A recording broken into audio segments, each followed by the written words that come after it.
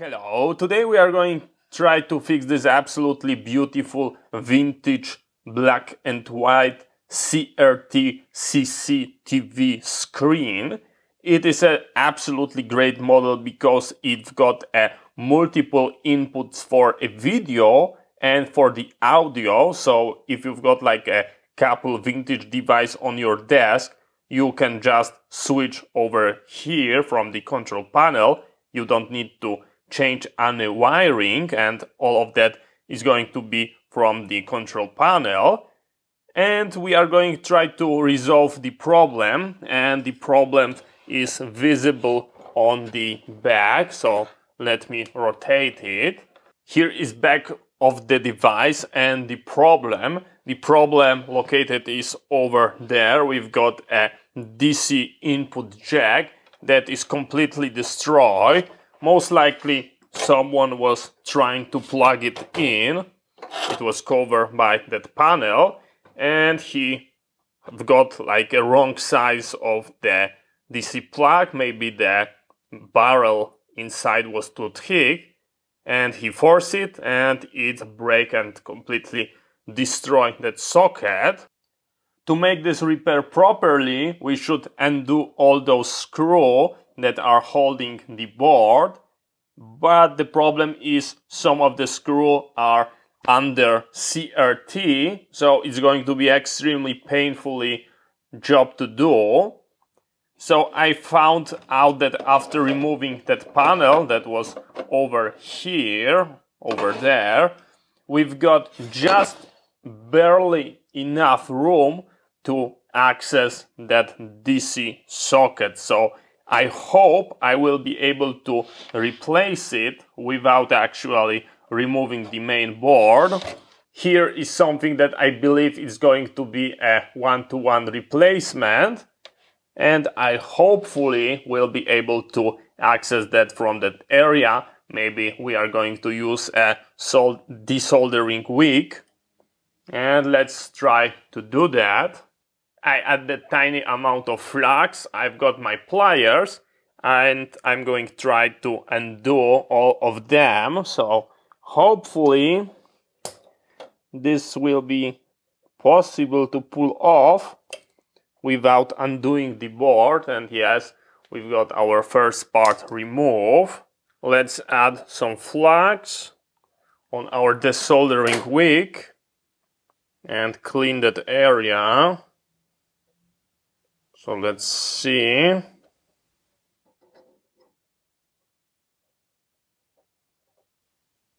And yes, that looks absolutely beautiful. We managed to clear the hole. Let's try to pull that part. And it's go absolutely beautiful. Let's try to clean it.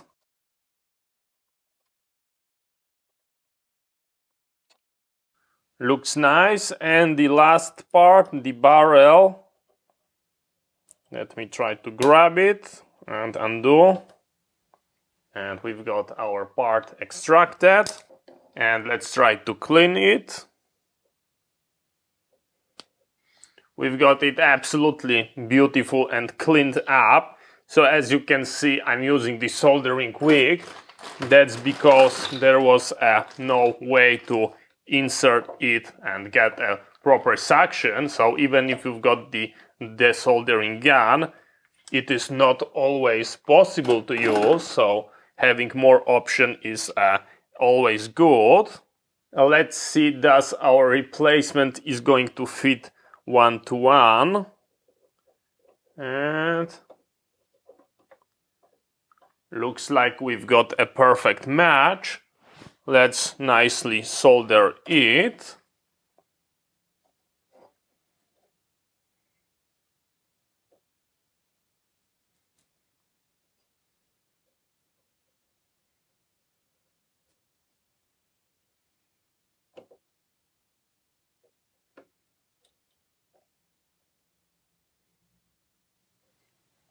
and it looks uh, absolutely beautiful. That looks absolutely great. So let's try to put it back. Just like that.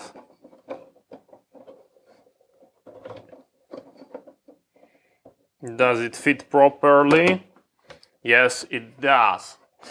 So we've got an absolutely great success. First we are going to start from the bottom just like that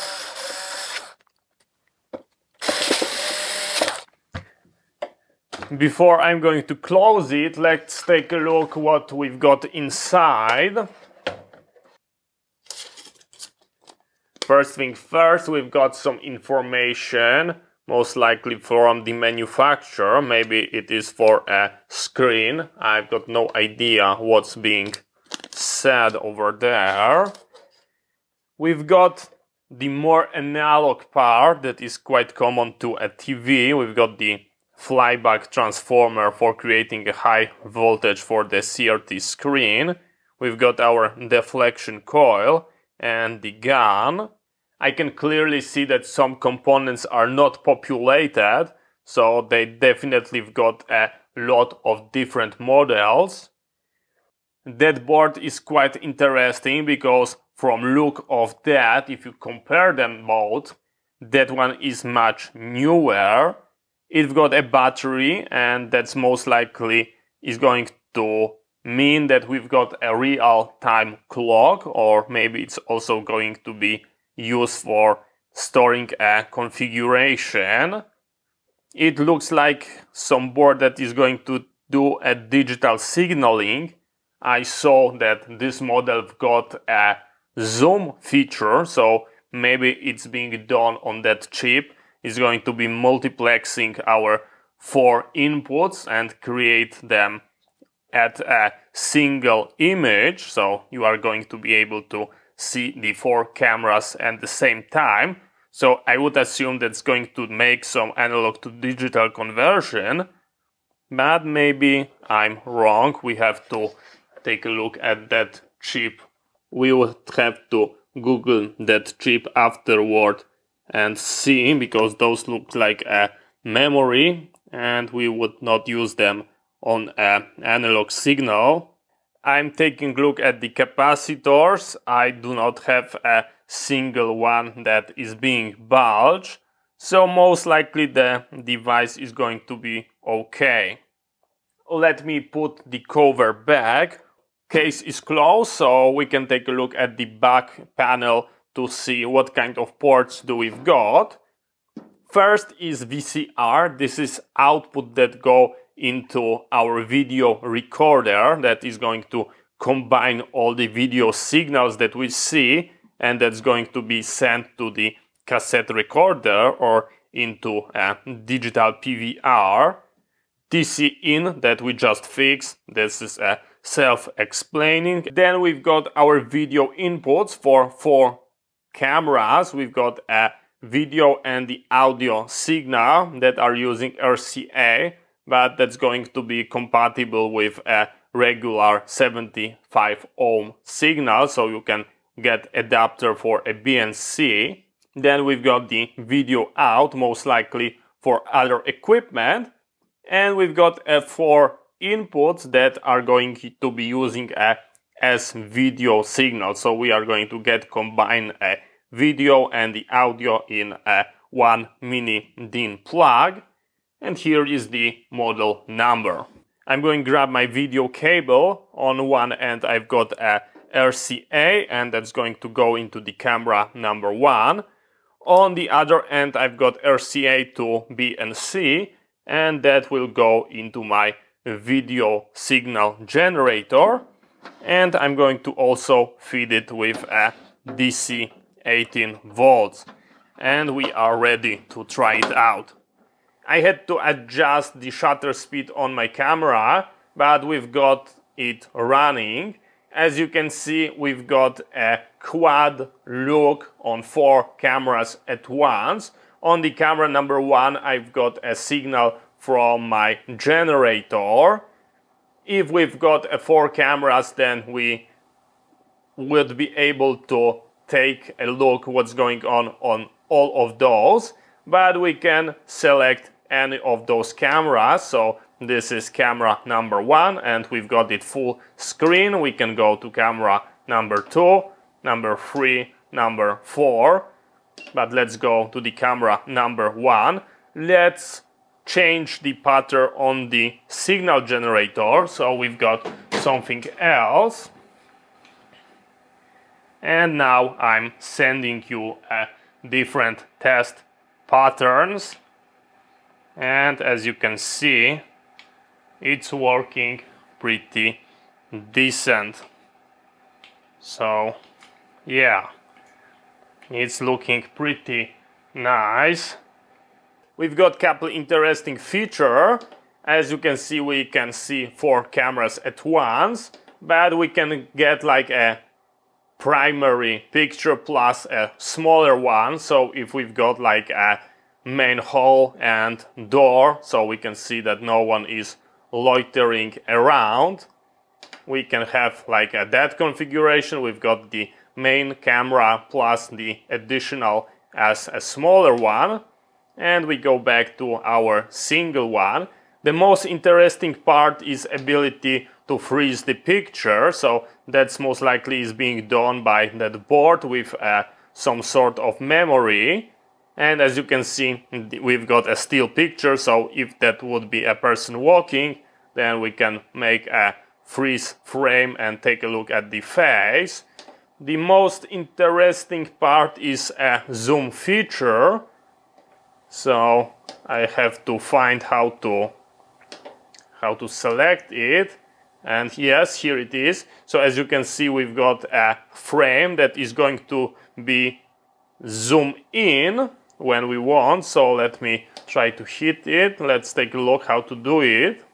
On those buttons we can move our zoom area. As you can see we can move it up and down and let me find a way to zoom in. Maybe that? Yes, that's exactly. We just zoom in into that area and as you can see I can move it around. Let's see does the freeze frame is working. Looks like it does not in that mode. So if we would like to see something smaller, then just take a look how beautiful it works. Let me move it, let me change a image maybe here it's going to be better visible. So we've got our frame over here and I zoom in and as you can see, we've got it much closer and we can move it around, up and down. Absolutely beautiful feature. And the last thing, let's try to zoom it here. And it's looking absolutely beautiful. This is how psychedelic it can get. So we go like uh, zoom in, zoom out. That's a beautiful thing. So as you can see, we've got a beautiful fix. Thank you very much for watching. I hope you find it interesting. See you next time and bye bye.